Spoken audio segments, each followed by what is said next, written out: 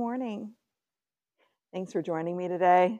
I'm Belinda, and this is Belinda's Baubles Christmas in July. Today is day number five, so July 5th, 2024. I am here in hot, sunny Fort Worth, Texas. It's supposed to be in the hundreds again today while we wait for Hurricane Beryl to come this direction. We should be getting some really good rain, at least this far inland. We should be getting some really good rain from it. Um, unfortunately, it's probably going to do some destruction on its way to us. Ew. Okay. Sorry, it's our little area on the yarn that I'm concerned about. I need to look at this. Make sure it's not.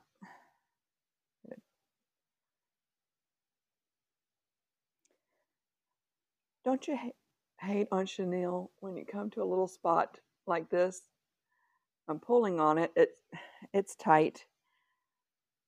It's just on the edge and it'll end up hiding. See, can't even see it. But I am still working on this baby blanket. I didn't get much um, crocheting done yesterday. I was having too much fun with my baking and cooking and everything and visiting and and for a change I wasn't sitting while talking and crocheting. We were just visiting. Had a great visit um, with my brother Bill and his partner yesterday, and we had a really good lunch. And he showed me a couple of things. Sorry, I've got a bite on my face and it is irritating me to no end. But he wasn't, you know, he didn't feel like coming on, on with me, but he did um, show me a couple of things and for me to be able to share with you. Uh, he was at on the lam with me a few weeks ago and was talking to someone who was getting ready to do her first time steeking. Now, Bill, he uses steeking in a lot of different places. He calls, you know, some of it unnecessary steeking, but he's he utilizes it and it doesn't have to be just for color work or just for cardigans which he uses that also but he does it in the um, armholes sometimes and in the neckline and this was one what he's doing right now is he's recovering a lot of yarns. So he got him a niddy noddy and he's been so um, excuse me.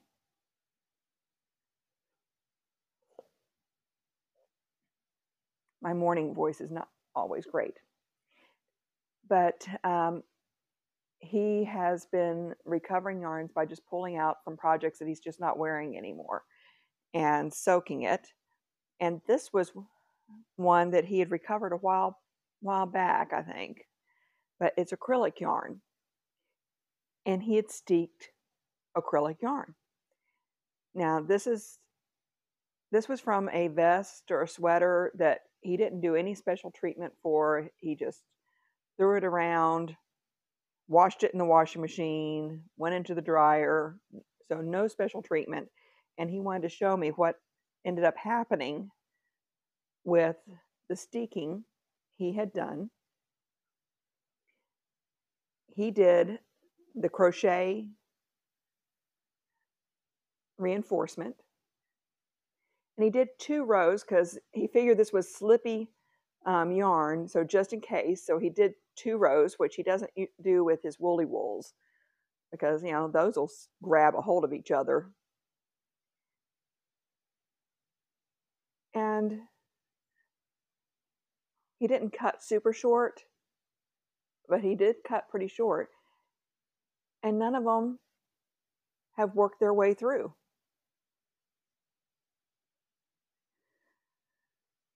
I see all different options out there as far as some people say you have to sew it.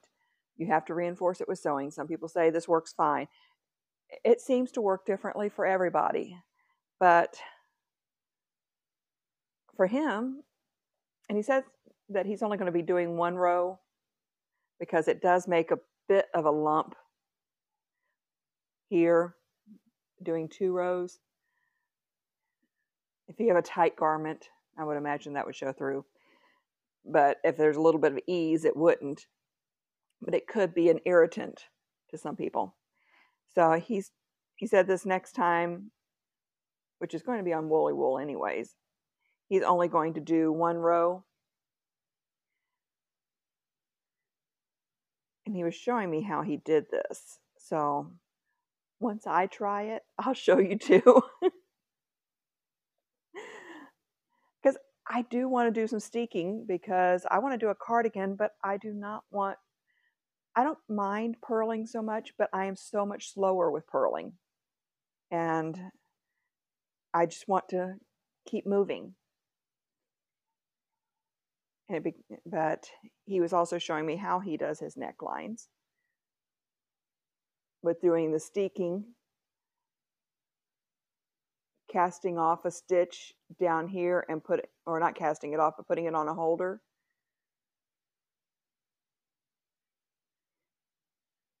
And I really do like how he's doing this here. We'll look into that a little bit further later on. Okay, so that was item number one that he showed me.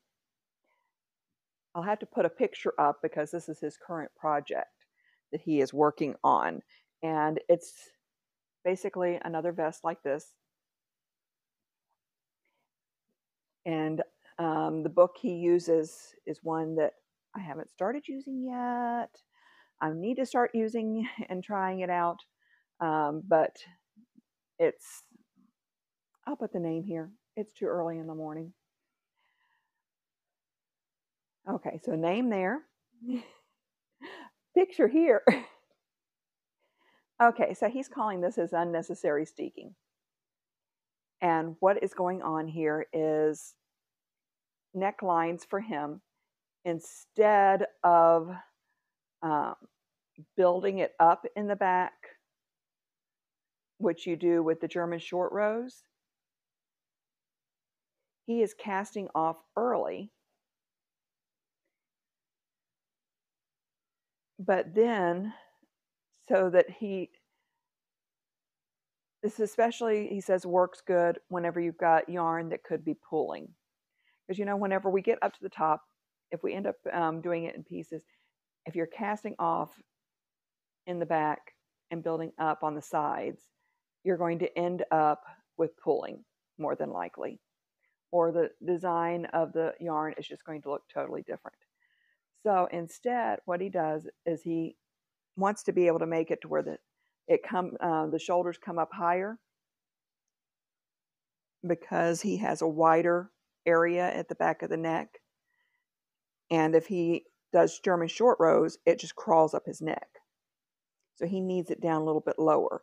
So what he has found to do is he does that this weird looking loop. So at the bottom here, he, he has taken and um, cast off those stitches.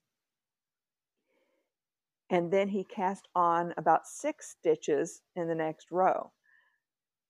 And he continues on with his shoulders. And once he is done with the shoulders, he will end up steeking that little bit at the top there uh, and fold it back and do his little do um, the crochet method more than likely and just um, fold that little bit back. But it makes it to where if you have a yarn that he just does it all the time now but it, um, if you if you have a yarn that's going to slightly pull there's less chance of it doing it that way because you're still going further across and you're going back and forth. You're not just going back and forth on one side and the top i had on yesterday the v-neck it did that. And I use that as a way to show which side is my back because if you looked at uh, the yarn on my back, it's got a brown area on one shoulder. So I put that in the back so I don't see it. but it makes so much sense to me. I think that may end up being some steeking I try first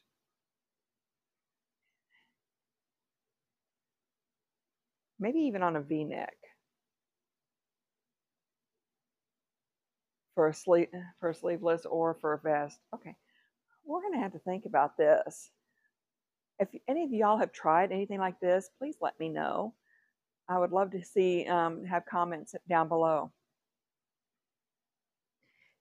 This is some things for me to explore and hopefully you'll explore or you'll let me know how if it ever worked for you or what your experiences have been with steeking the only thing i have steeked so far was a sock tube and i turned it into arm warmers because where i was working at that time the air conditioner was really strong in the drive through area of the pharmacy and so i would get cold in the summer. Yeah, cold here in Texas in the summer. but most of the time I was too warm, so that way I just had the arm warmers for whenever I needed to throw something on real quick. And it didn't mess with my uniform or anything. Okay. Today, as you can see, is a work day for me. It is my last work day before vacation, so vacation starts tomorrow. Just had the last two days off, work today, and then have a whole week off. I'm excited. But plans may change for this coming week, mainly because of Beryl. Hurricane Beryl is coming this direction, it looks like, and we don't know exactly, but it could. It looks like it's going to show up around Wednesday, which is when um, we were going to go to Waco. We have a hotel room in Waco for Wednesday night, and that may change. And the grandkids are coming into town along with our daughter Shauna, so see what we get up to, but it may be more indoor fun instead of because of how hot it is, because of how wet it is, which will be very different this is going to be an unusual summer, I think, for us. All right, so I'm going to try to get this finished. Oh, I should show you what, what what's going on here. Okay, so I am on the last row.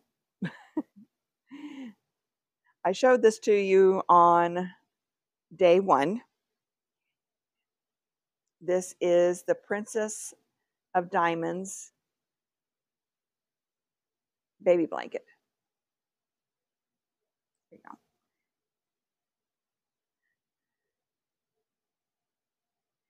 And I really do love how it's turned out. I'm using Premier Parfait Layer. I don't even know if they make it anymore, but I had four of these. I went through one full one, and this is, it's bulky number five, 240 grams and I've ended up going through a little bit of a second one. So I'm thinking probably about 260, 270 grams for a baby blanket, which is not bad. And it's a good size. But I decided instead, since this is for a baby boy, instead of having a um, lace edge, I'm just doing, I did a single crochet US terms and I'm doing a half double crochet with the contrasting color. So you got the yellow in there. So that gets all the colors there on the edge. And then I just have to weave in ends. So I am close. I have three sides left to do. So I will get I will get this done today because I need to wash it tomorrow, hang it up on the line so that I can get it packaged up and take it to the baby shower on Sunday. So plans for tomorrow, laundry, and I don't know what else. You'll just have to come along and see what I get up to tomorrow because this vacation is a staycation But we need to go somewhere tomorrow, don't we? But it's a Saturday. It's a holiday weekend. It's going to be busy. I'll figure something out. I don't know what, but I'll figure something out. Okay. Well, I have waffled on here for about 15 minutes. I'm going to finish my coffee, finish knitting on this, and I will see you guys tomorrow. Y'all have a great day and stay warm if it's cold where you are, stay uh, cool if it's hot where you are. We're definitely having an extreme year. See you soon.